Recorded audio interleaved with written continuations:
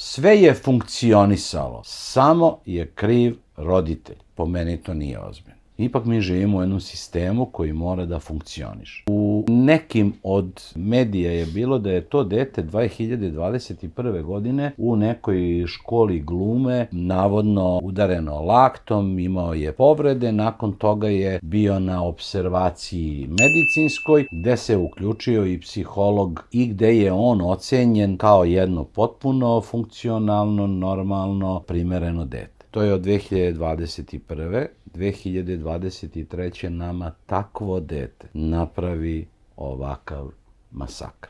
Nešto ovde ne funkcioniše kako treba. Ako treba svaki dan da o ovome pričamo i da to nešto se menja. Imamo ljudi neplivače koji nam rukovode brodom.